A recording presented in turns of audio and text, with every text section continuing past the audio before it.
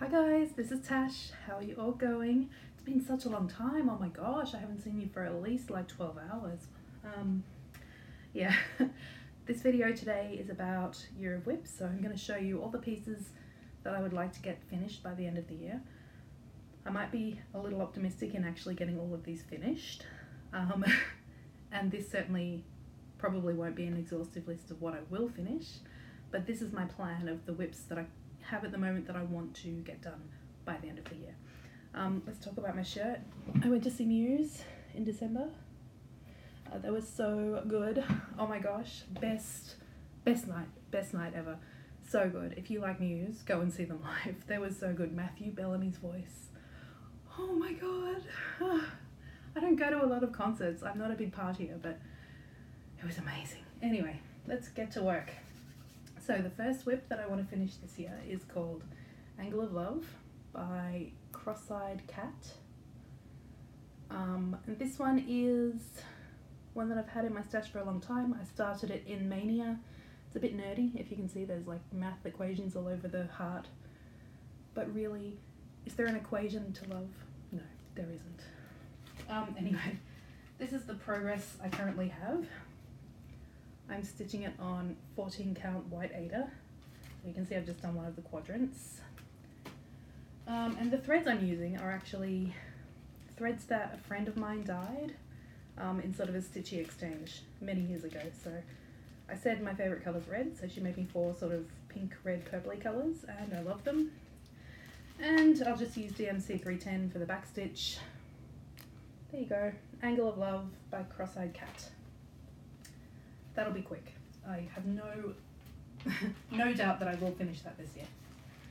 Um, I've got so much stuff here, it's quite hard to move around the piles. Okay, the next thing I want to finish is going to be the Bellas. This project has four charts. There are, so this is one chart, there's another chart with two designs in it. I've already done Bella B. Um, I'd like to finish Bella Butterfly. And this is what I've done so far.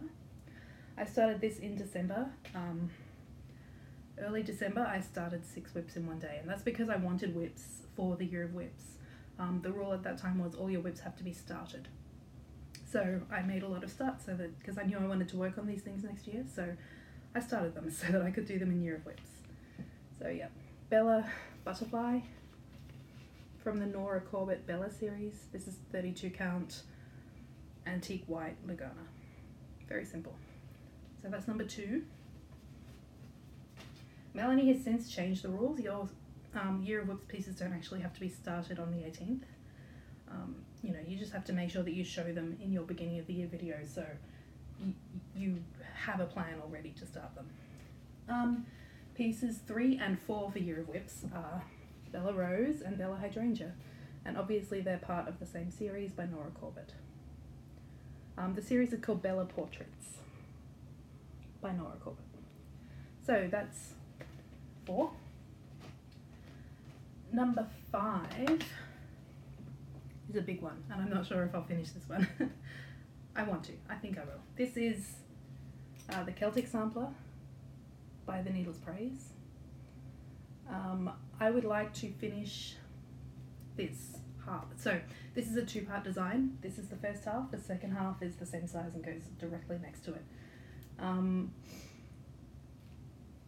I'd like to finish all of the stitching on this, but not all of the metallics. Um, the reason for that, you can see all these white parts here, here, here, here. That's all going to be filled in with metallics.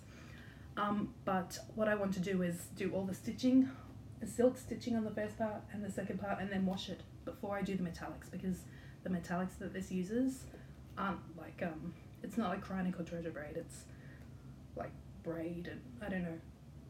I'll show you when I get it out. That won't be this year or next year or the year after. Um, but those metallics can't be washed. So all I want to do on this is finish the stitching. Now, I haven't asked Melanie specifically if that will count as a WIP for Year of WIPs if I just finish the stitching and not the metallics. Um, but I'll count it for myself at least. So whether this is official or not, this is my next piece that I like to finish.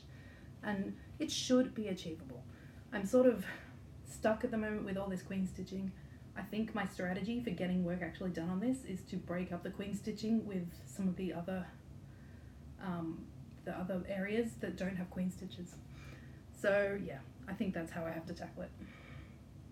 So there we go, Celtic Sampler by The Needle's Prayse. Love it, love it, love it, love it. I love that. That's my favourite WIP. Um, so that was number five. Number six. Contessa with Squid by Omar Rayyan. This is obviously Heaven and Earth Designs. Um, it's a big one. I started this, this was my new year, new start for 2017. And I did one page and a bit, so that's obviously the edge of the first page there. Um, I did an extra thousand or so stitches. I think that was the day, the day I did a thousand stitches in one day. um, yep. So my goal is to do page two. That's all. no, not a lofty goal really, but that's my goal. Page two. And that'll be fun because that will give me a bit of these tentacles here. Ooh, I like tentacles. I love squid and octopus and cephalopods in general. I love them. I'm reading an audiobook right now called Other Minds. My god, they are fascinating creatures. They're amazing. So I love her. She's so sexy. She's so sexy. Um, Omar Rayyan is the artist who also did The Favourite, which is the one that Itty Bitty Stitchy is doing. The one where it's a little girl in a dress holding her dog, but her dog is this huge, gigantic beast with sharp teeth and it's really scary. Yeah. I love this artist. He's my favourite. I want everything he ever did. Um, so that was number six. Uh, come on. Okay. Number seven. Fir Tree Mountain by the Cat's Whiskers. Um, I'm not sure if these charts are still available anymore. I don't know, I'm sorry. I started this in 2007, I think. Um, it's part of a set of three. As you can see, there's Cherry Blossom Spring and uh, Shades of Blue Willow. And I made each of these for two friends. I used to work on night shifts in a nursing home, and three of us were stitchers. So we used to spend the night stitching um, in between the actual work. So they're the ones I've done for my friends. I might put in pictures here of the work I did for my friends. And this is how much I've got done. This last one, it was going to be for me. So this is how much I've got done so far. Not very much. I think I did most of this during Mania. So it does, in Mania I worked on this for one day. So it does stitch up quite fast. Um, pretty quick. I love this. Um, I realise there are three pieces there, but I'm just counting it as one project because it is one project to me. Um, yeah, so I'd like to finish this and FFO this this year and I think it's completely achievable. And I have FFO'd them before, so I know I can do it. I just don't remember how I did it. That's the problem. Um, so that was number seven. Number eight is Fire and Ice by Custom Creations. Uh, it's very see-through. Let me hold it there. Does that help? Hmm. I need something behind. That's a bit better. So I'm sure a lot of you have seen this one before. It's a big horse.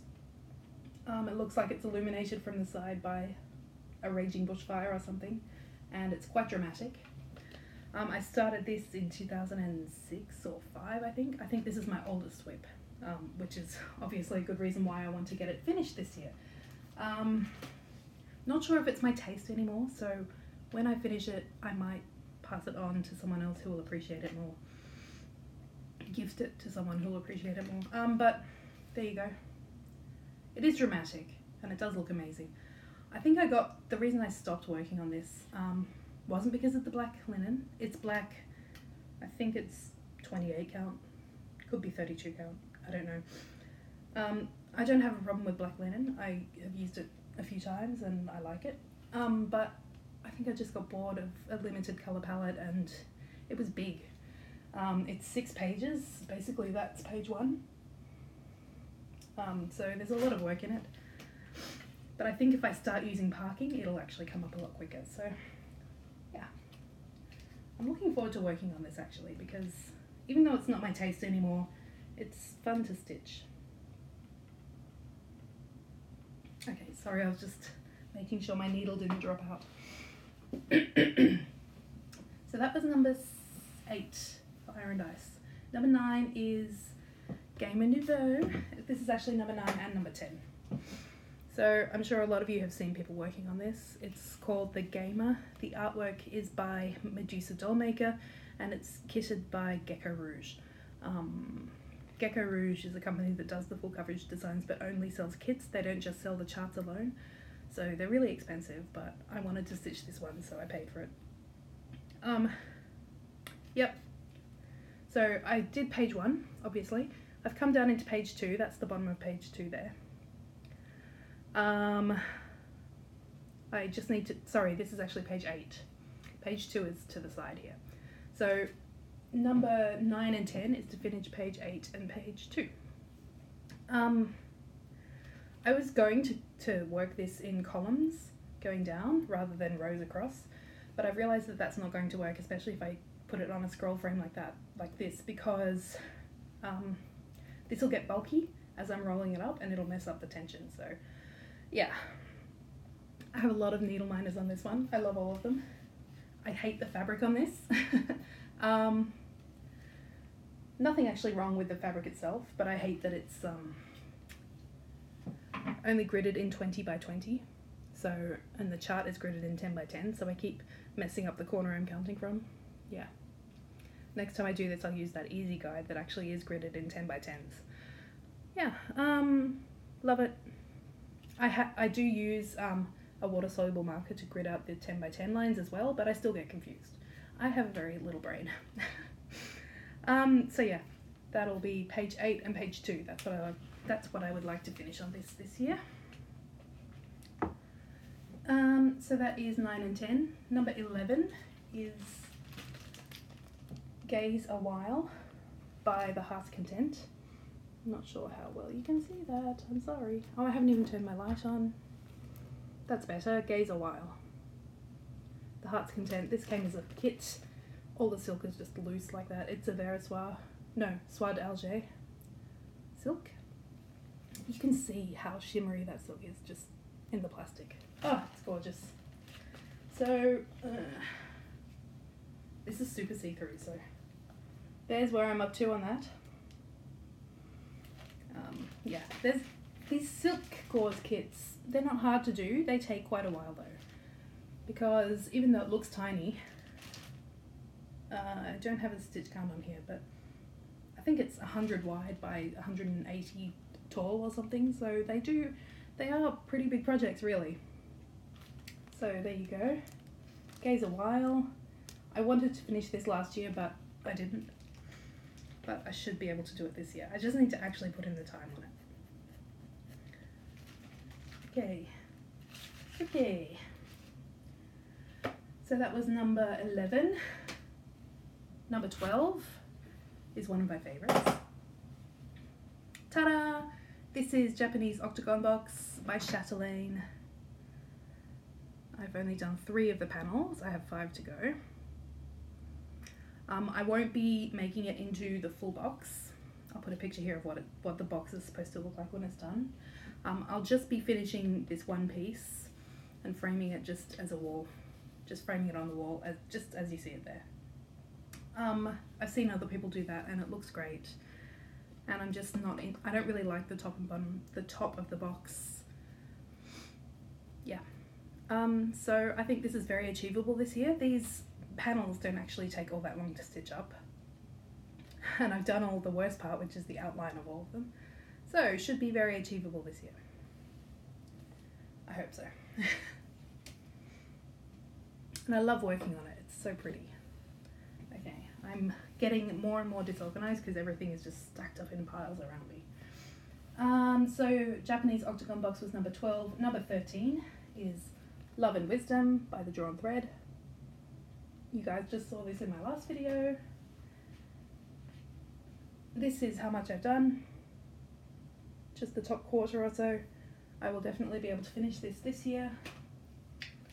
Um, number 14 Merchant Mermaid by Mirabilia. I love her. She's so pretty.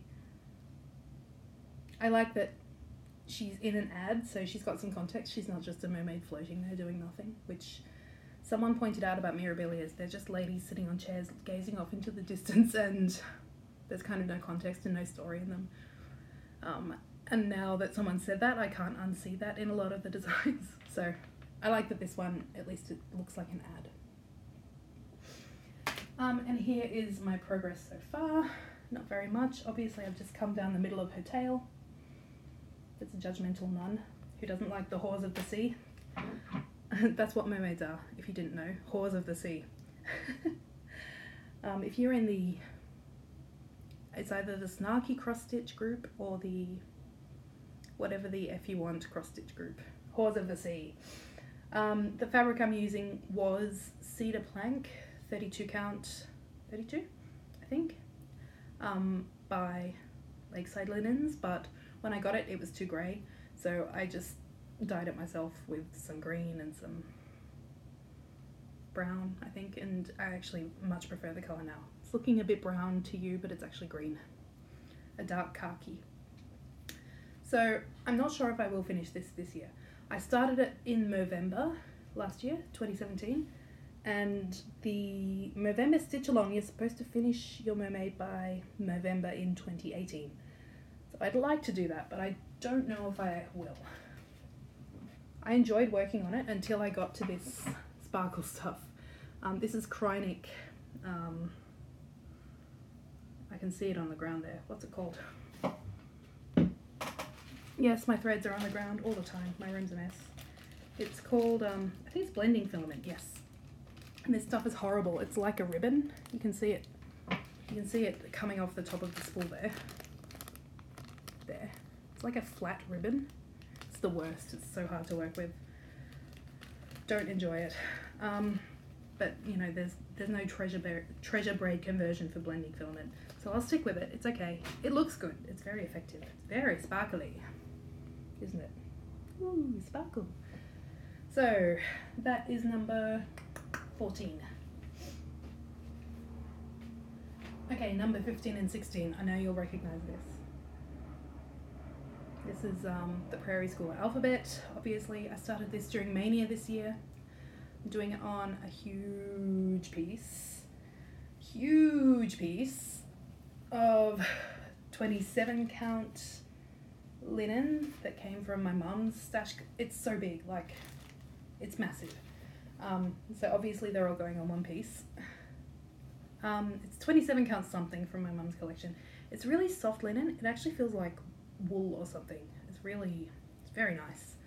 Um, I finished A in 2017. In 2018, I'd like to finish B and C. I'd actually like to finish more, but I'm only going to commit to B and C. Um, and that'll finish off the first leaflet. So good, good, good. Yeah, so that's number 15 and 16. So there's a few changes I think I want to make in this as well. Um, the red colour that they use is very dark. The called for red. Um, I'll show you in a moment. It's very dark and you can't see the letters um, at the bottom of the chart. How did I fold this before? It's just not working. Okay. See the A there? You can hardly read it. So I've heard that somebody actually changed the called for red to a lighter colour all the way through the whole thing. Um, I'll think about that, but the, at least what I'll do is unpick that letter A and just let it be black on plain fabric rather than black and red.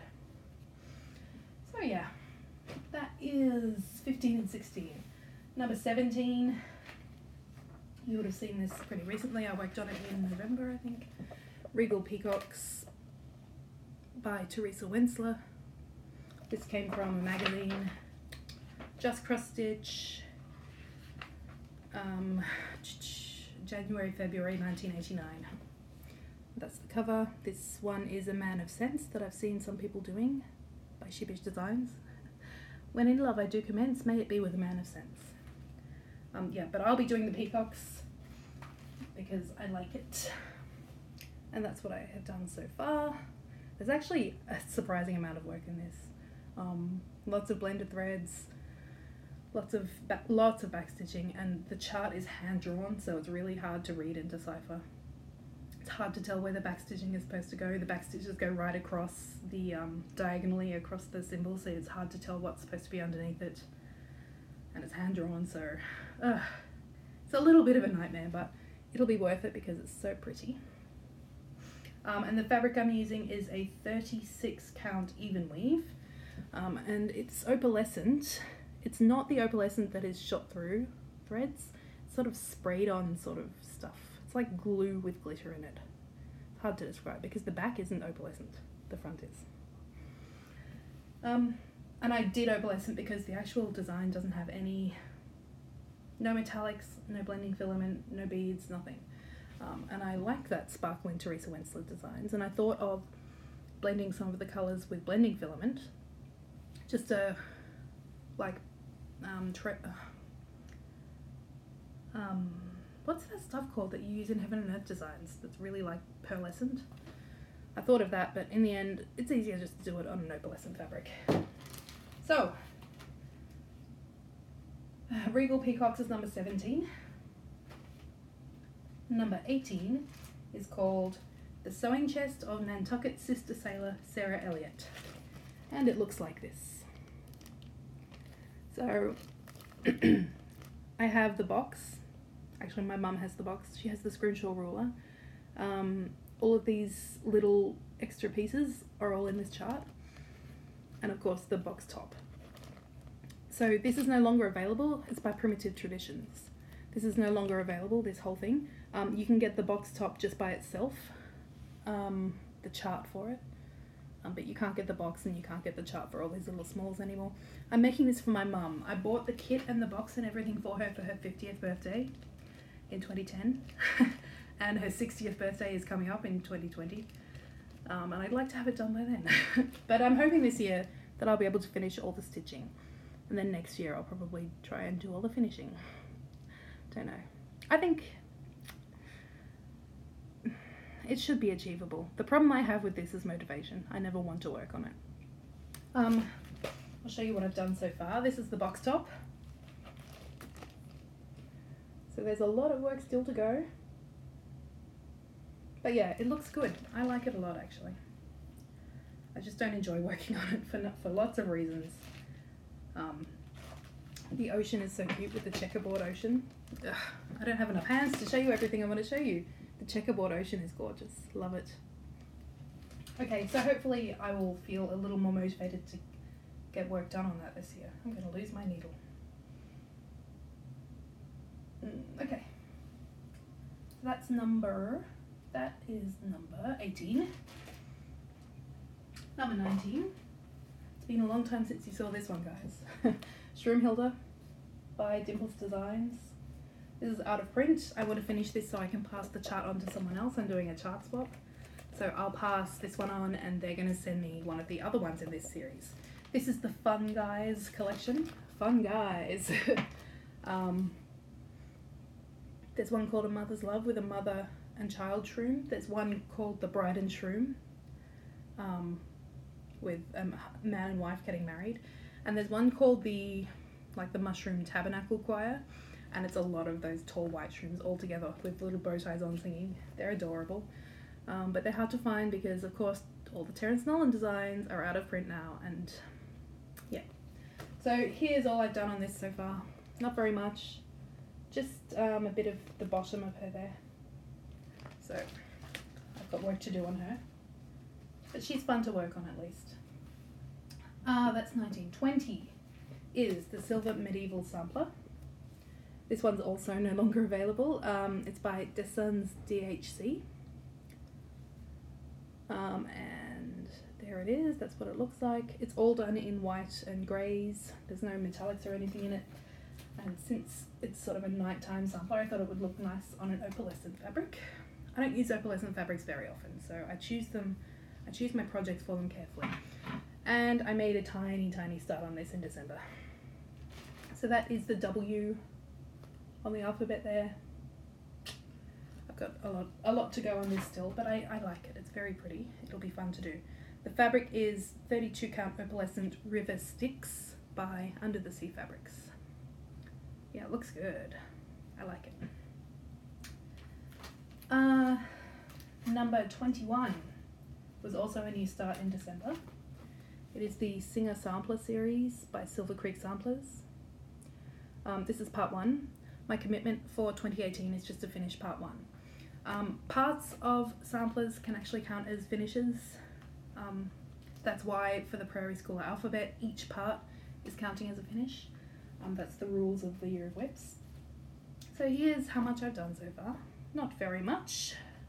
I need to edge my fabric. Um, this is a large piece, so it'll fit all the way across. Um, it's 40 count something, I don't know, soft ivory I think it was. 40 count soft ivory. Um, and I like it. I have made the tiniest little start in the world. pathetic. I mean, that is the most pathetic start ever. Um, yeah, so I'd like to finish part one. I might finish all of it, but I'm only going to commit to part one. Um, number 22. Everyone remembers this one. This is Sirin Jaidee. Love it, love it, love it. There you go, that's a little bit better. Oh, love it. Love it, love it, love it. For sure, I'll finish this this year. I love it, and I just I think about it all the time. I want to pull it out and work on it all the time. And now I'm set up with my chair and my Lowery properly in this room. I'll be getting it out to work on it pretty soon. I love it. It's gorgeous. Gorgeous. Um, 32 count Black Belfast from Zweigart. Um, silks 1 over 2. Coverage doesn't look bad really. When you get up close, you can definitely see gaps, but silks are a little bit um, heavier than DMC, so the coverage is a bit better. Love it. Oh my gosh, can't wait to work on it. Um, okay, that was number 22. Number 23 is the Strawberry Sampler. This is one I started in December. Um, it's by Darlene O'Steen of The Needle's Prayse. I think this is also out of print, I'm sorry. I haven't done much on this. As you can see, not much at all. When I started this, I thought, oh, this will stitch up really quickly. It's all backstitch, um, no worries. but um, the chart actually explains how to do reversible, like double running stitch technique. So that's what I've been doing. So if you look at this, it's actually completely reversible. But look on the other side, it's perfect. I'm so proud of that. I love it. It's my new favorite thing. Ta-da! Um, yeah, so it actually takes a lot longer um, to do because you need to plan out your route and think about making sure you can come back and complete the whole motif without carrying over any gaps or anything. So take some planning out. So it's going to take me a bit longer. It's not just a matter of simple backstitch. Um, so I'm not sure if I will get this finished this year because it's quite intensive and not always the most interesting thing to work on. Um, there's also some reversible backstitch down here, which I've done before, but I, I obviously don't remember very well how to do it, so there we go. So the strawberry sampler, not sure if I will actually get that finished, but I would like to, let's see. Um, and number 24, the last one, is Tranquility Sampler by Stickideen von der Bienenberg. I can't say that. I don't have a picture of what this looks like when it's finished. I started this in 2007 when it was a mystery stitch along. And I love it. It's so pretty. It's so pretty. Um, this is the halfway point right here. Um, that's the full width, so I'm probably a third of the way done. Um, I think it's very achievable for me to finish this this year, but I'm going to need to work on it sort of regularly to make that happen. I think my plan is going to be every weekend I'll try to finish one motif. So that'll actually have me finished pretty soon in the year. Um, the fabric is 32 count opalescent Lugana called Cashmere Glitz from Silk Weaver. I love this, it's so pretty. I'm just using random colours that I have in my stash um, from Weeks Dye Works and Gentle Arts and whatever. So yeah, love that. I'd love to finish this this year. I love it. And that's it. That's it, guys. That's all of them. Um, that's 24. There's actually 25 because we all have to start a mystery WIP um, that we don't show in our video. So I'm going to, I still have to film it every three months when I do my Year of WIPs update, but it has to be a secret until the end of the year. Um, I'll give you a little preview though. There you go. It's a kit, it's not a very big one. Um, it has to represent soulful stitching. Um, and I struggled with that because I don't really know what soulful means, um, but I think this fits. It's about personal strength and just self discovery, um, and I think that means soulful stitching. Anyway, I'll talk about it in my. I'm going to do a little tiny video now just for that one WIP, and you won't see it until the end of the year. So thank you for watching my year of WIPs. Um, yeah, happy stitching. I'll see you in three months for another update. I'm sure that like three quarters of these will be done by then. Yeah. No. nope. Um, do you think I've been too ambitious? I think I have. I, w- I won't finish all of them, but I only have to finish half of them. So we'll see. we'll see. I have big plans.